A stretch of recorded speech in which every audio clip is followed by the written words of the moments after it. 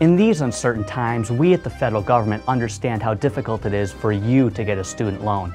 Untrustworthy lenders, unpredictable interest rates, and greedy banks prevent you from getting the education that you deserve.